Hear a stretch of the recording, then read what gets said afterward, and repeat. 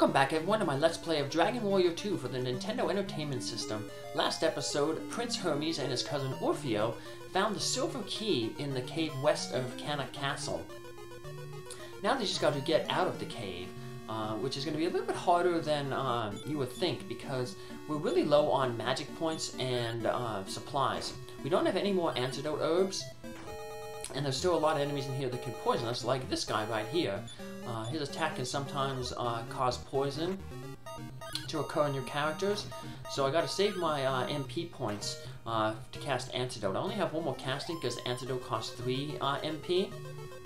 If I had more uh, magic points, those uh, Centipods are a good enemy to use the Fireball spell against because they have pretty high defense. So that's a good way to just avoid that defense because uh, Fireball doesn't care about uh, an enemy's defense. Uh, otherwise, it takes Prince Hermes about two uh, swings to take one of those guys out. So, now unfortunately, I ended up getting poisoned here again.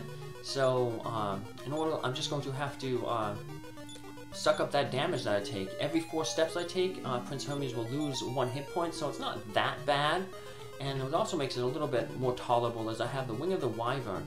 The Wing of the Wyvern, uh, in the first game, it took you back to Tantegel Castle. Tantegel Castle is the only place you can save, though, in the first game. In this game, the Wing of the Wyvern takes you to the last place that you save. In our case, it'll be uh, Cannock Castle.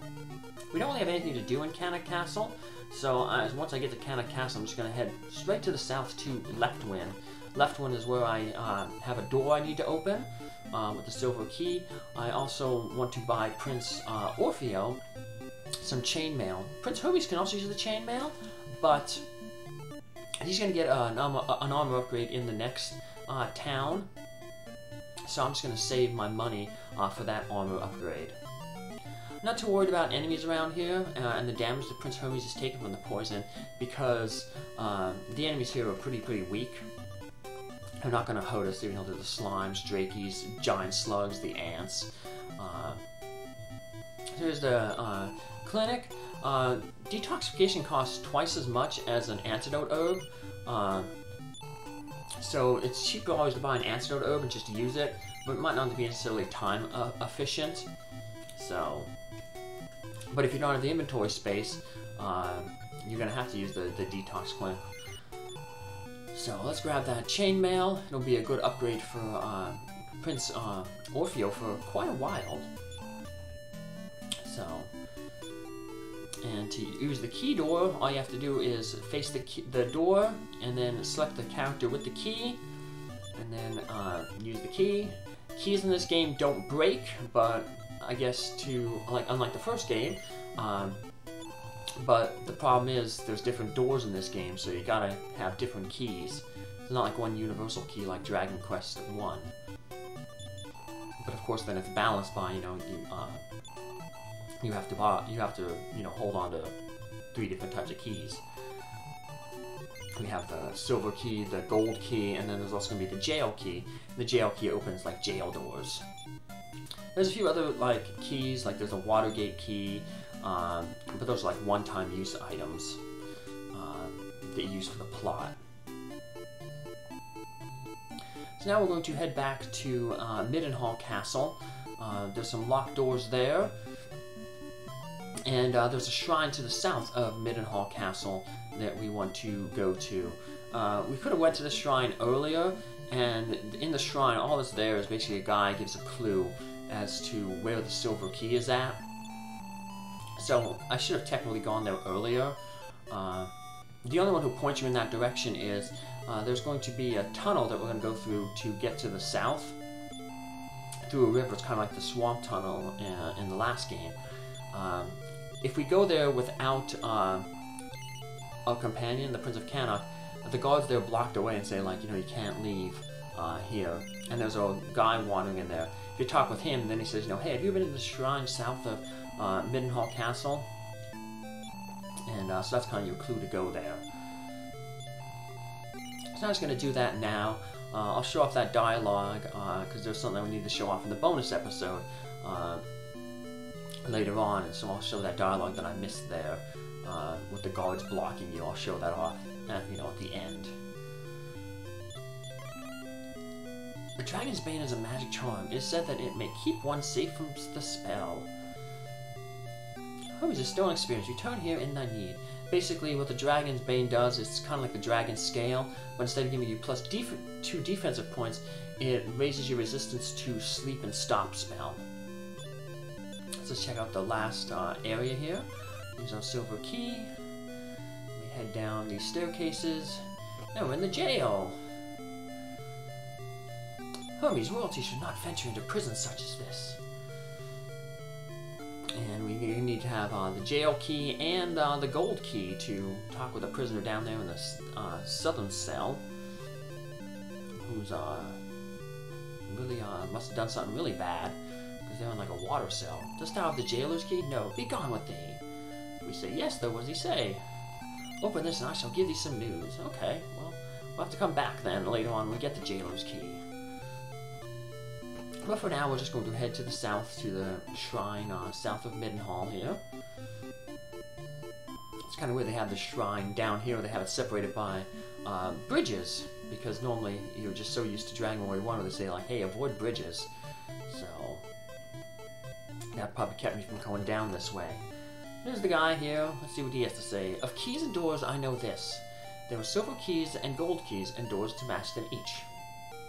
Seek thee first the silver key, for this is what I teach. The key is in the cave of the lake west of Cannock's walls. But go only with a friend, or you will fall. So, he's a little poet. He, he rhymes. Alright. So, now we uh, have all the information we need, and we're going to head to that um, tunnel system I was talking about.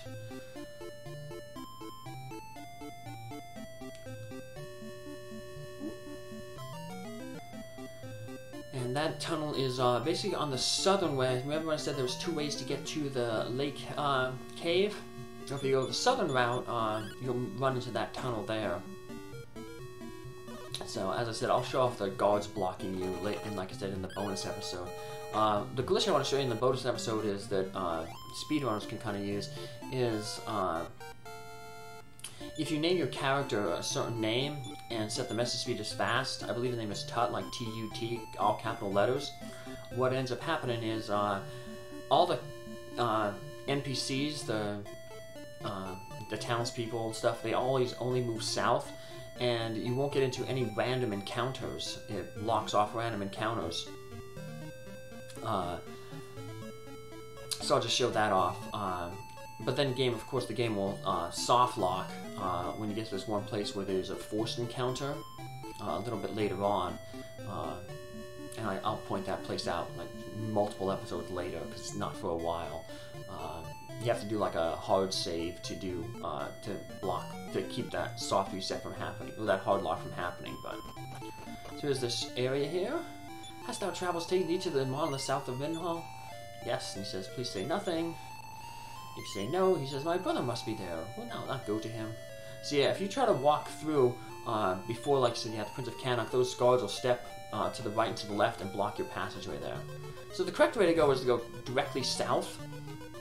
Uh, but if we take the uh, western passageway here, we just end up at a dead end. Back on the uh, overworld, though. But I'm not too worried because I'm gonna have to fight for some gold and stuff. And the enemies here, they're all pretty weak. They're pretty much the enemies uh, that are outside uh, around the, the lake cave area. So, you know, the ghost mouses, the, the big rats. Uh, nothing that, you know, obviously we can't handle. Now, to the south, uh, where we're going to, the enemies there are going to be really, really hard. Uh, especially for the level that we're at. Uh, but we'll be doing a lot of fighting there because the, uh, unfortunately, the equipment that we're going to get for uh, Prince Hermes and Orfeo there uh, mainly Prince Orfeo, is really, really expensive. Oh, Prince Hermes is really, really expensive. So, Orfeo will actually get the best weapon he can use in the game, for the most part there. Uh, his strongest attack power weapon. So, remember what the guy said that uh, he's not really good with uh, weapons and armor. And the fact that we're getting his late game weapon uh, so early in the game should be an indication. So now some of the remakes they they change that up. They allow him to equip more weapons. Uh, but in the original NES version here, uh, the item that uh, gives the strongest attack power to him is the Iron Spear. Uh, and that's going to be available here in this next town. It's debatable whether uh, that's, uh, for the end game though, if that's his best weapon, because later on you get a, um, a sword called the Falcon Sword. And the Falcon Sword, it gives less attack power, but allows him to attack twice. Uh, it's good when the, toward, uh, when you get really high levels with the Prince, because when you get really high levels with Prince Orfeo, uh, his strength skyrockets. so then he can actually do a lot of damage. He can do more damage with the thing, but uh, before that, his strength will be low, so he won't be doing a lot of damage uh, if you just get him the Falcon Sword. So he'll just be like tickling the enemies uh, rather than being able to overcome their defense with his uh, strength. So later, earlier in the episode, I ended up getting the Stop spell. That was the new spell that uh, Orfeo got at level 8. It's a good spell to use uh, against enemies like the Magicians here. So, for 3 MP, we get to basically block all these magician spells. Uh, so it's basically just uh, the same as, uh, you know, as if we cast a heal spell, we're not losing any uh, hit points. Magicians, they have uh, no resistance to uh, stop spell, so it'll always work on them. Toward the end game, though, there's some other magical type enemies that will have some resistance, though. Alright, a new town. Ghosts may wander this world under moon or sun, and at even times may be recalled. Here in Hamlin, not all is as it seems. Talk to everyone, for appearances may not reflect the true person's identity. Some say that there is a tall tower, and in a brave adventurer may find the Cloak of Wind. It can save thee if they fall from a great height. I'll explain that cloak a little bit later. Southwest of this village lies the castle of Moonbrook. Use this uh, thing. We want to probably buy another Wing of the Wyvern. Uh, Moonbrook's pretty far away, and then we have like a little mini quest to go on once we go to Moonbrook. Um, and like I said, the enemies here are really, really tough. Uh, and we'll be doing a little bit grinding off screen here. Said we'll want to end up getting that Iron Spear for uh, Prince Orfeo, the Broadsword, Full Plate Armor, and Steel Shield for uh, Hermes. Not all at once here. A lot of the level grinding we're going to do, we're going to do uh, later on when we get the Princess. So. Just gotta see if we have a lottery ticket, and uh, he tells us not to take it too seriously. Here's the lottery. We'll play a game on it real quick here, just to show what it's like, because I have two lottery tickets. Basically, the wheel spin is a match three game. If you, you try to match uh, three symbols in a row, depending on what symbols you match, you get uh, different things. So the one that we want is, uh, well, so if you get three suns, that's really good because you get the gold card basically what the gold card is, is once you buy something, the shopkeeper will give you 25% uh, off. Well, 25% back after you buy something. So once you buy something, like we bought that uh, uh, steel shield for a thousand, uh, he charged a thousand, but then he'd give us 250 back. After the sagging Moonbrook, I escaped here and made my way here, hoping others would follow. There's a doggy there. What's interesting about this dog is when you talk with it, it starts to follow you around like a party member. Hmm. Maybe that, uh, that dog isn't what it really seems. So this is the person we're going to save the game with, and you can see it's really close to the lottery. So what I'm going to do basically is I'm going to um, play the game, you know, reset, when I turn the game on, go down, play the lottery. Uh, if I don't win the lottery, then I'm going to uh, just reset and uh, keep trying until I win the prizes. So I'll see you next time. Take care. Have a good one. Bye.